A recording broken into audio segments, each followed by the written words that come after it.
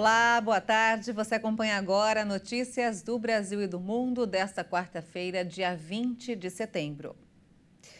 O Instituto Nacional de Meteorologia, o INMET, aumentou o grau de alerta por causa do calor em algumas regiões do país. O aviso foi ajustado para vermelho de grande perigo em parte de Goiás, Mato Grosso, Mato Grosso do Sul, Tocantins, Minas Gerais, Pará, Paraná, São Paulo e Rio de Janeiro. Aparecem com aviso laranja, perigo, na tarde desta quarta-feira, regiões da Bahia, Maranhão, Piauí, Santa Catarina, além do Distrito Federal. Os novos alertas apontam ainda temperaturas 5 graus acima da média por período maior do que cinco dias. A previsão de calor intenso agora se estende até domingo. Em alguns estados, acima de 40 graus. E a NASA diz que o oceano está com febre devido ao aumento recorde de temperatura na superfície. Segundo o Serviço Meteorológico, o Caribe registrou o verão mais quente na história, com águas em torno de 30 graus e meio, o que afeta a vida marinha e pode ajudar à formação de furacões na região. A NASA publicou um artigo intitulado O Oceano está com febre que explica que em março e abril as temperaturas médias da superfície do mar ultrapassaram os níveis mais elevados que tinham sido observados no registro de dados mantido pela Administração Oceânica e Atmosférica Nacional dos Estados Unidos. O texto afirma que em agosto foram encontradas anomalias na temperatura da superfície do mar e é notável que algumas áreas dos mares do planeta tiveram temperaturas quentes superiores a 3 graus Celsius. Além disso, são mencionadas mudanças de temperatura nas águas do noroeste do Oceano Pacífico, próximo ao Japão, e do nordeste, próximo à Califórnia e Oregon, nos Estados Unidos. Da mesma forma, diferentes temperaturas foram registradas nos oceanos Índico, Ártico e Antártico. Porto Rico não foi exceção à onda de calor global que está ocorrendo. Desde junho, o Serviço Meteorológico Nacional Americano confirmou novos recordes de temperatura com índices de calor de até 46,6 graus.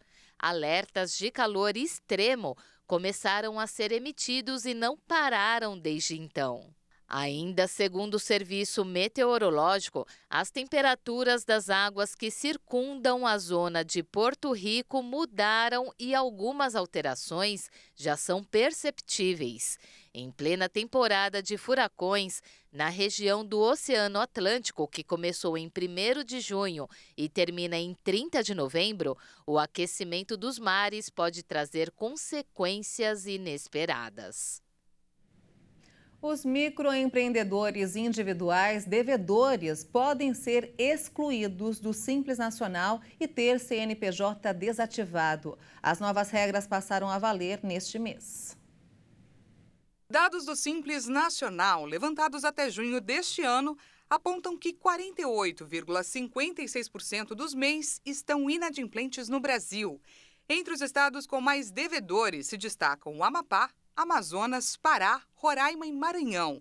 Desde o começo de setembro, está valendo a determinação que os microempreendedores individuais que têm dívidas com a Receita Federal e a Procuradoria-Geral da Fazenda Nacional que não regularizarem suas pendências podem ser excluídos do Simples Nacional. Segundo a Receita, os inadimplentes recebem os termos e relatórios de pendências. No caso de exclusão, o Cadastro Nacional da Pessoa Jurídica, o CNPJ, continua ativo. Mas a empresa perde o benefício de recolher o tributo em valores fixos mensais, entrando nas regras de apuração com base no lucro real ou lucro presumido. Durante os próximos meses, os empreendedores que deixarem de apresentar a declaração anual simplificada do MEI por mais de 90 dias também podem ter o CNPJ inapto. Isso significa que as empresas não poderão emitir notas fiscais ou licenças e ter os alvarás cancelados. Além disso, as dívidas passam para o nome do microempreendedor e o CPF do profissional fica restrito, dificultando a obtenção de empréstimos e também de financiamentos. A Índia recomendou a seus cidadãos que evitem viagens a algumas regiões do Canadá. O anúncio foi feito nesta quarta-feira em meio a uma crise diplomática após o assassinato de um líder Sikh no país norte-americano. O Ministério Indiano de Relações Exteriores expressou preocupação com a segurança de seus cidadãos em território canadense devido aos crimes de ódio e da violência criminal tolerados politicamente no país. Em um comunicado, a chancelaria relatou ameaças contra diplomatas indianos e setores da comunidade indiana que se opõem à agenda anti-índia. A nota aconselha que estudantes indianos sejam extremamente cautelosos e vigilantes. Na segunda-feira, o primeiro-ministro canadense Justin Trudeau pediu que Nova Delhi trate com a maior seriedade as acusações de que agentes indianos estariam implicados no assassinato de um líder Sikh, o que o governo indiano nega. Hardip Singh Nijar, cidadão canadense, foi morto no oeste do Canadá em junho. A disputa levou a expulsões mútuas de diplomatas. O rei Charles III do Reino Unido começou hoje sua primeira viagem oficial à França como monarca. Uma viagem de três dias que busca demonstrar que as bases da aliança entre os países seguem sólidas após o Brexit. Ele desembarcou no aeroporto parisiense de Orly ao lado da esposa Camila, onde foram recebidos pela primeira-ministra francesa Elisabeth Borne. A visita de três dias busca demonstrar que as bases da aliança entre os países seguem sólidas após o Brexit. A agenda é praticamente a mesma que estava prevista para acontecer em março, no que seria a primeira viagem desde a ascensão de Charles ao trono, mas adiada devido a um conflito social na França.